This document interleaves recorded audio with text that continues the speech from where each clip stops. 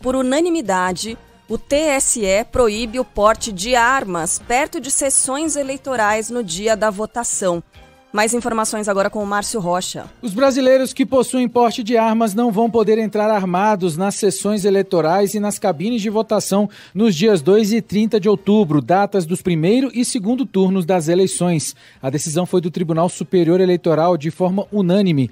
Relator do processo, o ministro Ricardo Lewandowski votou que não é permitido o porte de armas nos locais de votação nas 48 horas anteriores ao dia da votação, no próprio dia do pleito e 24 horas depois.